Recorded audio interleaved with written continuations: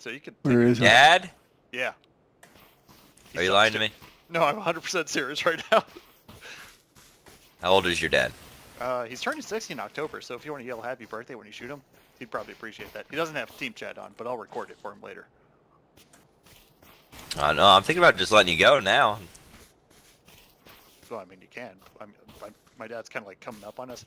He's he's, he's coming from the northeast right now. Um, like he's on the opposite side of this village. If you leaned to the left side of this fence up here, you could probably take him out. Where'd he and go? can start a new game. Uh, he's on top. What if of I me. just let him res I've you? been talking with him. He's Keep not, talking. he's not gonna res me. Look at this. I, to be honest, I told him you're on top of me. So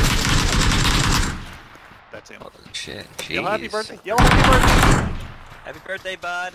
birthday. No way to sh- shoot people. No, he bled out.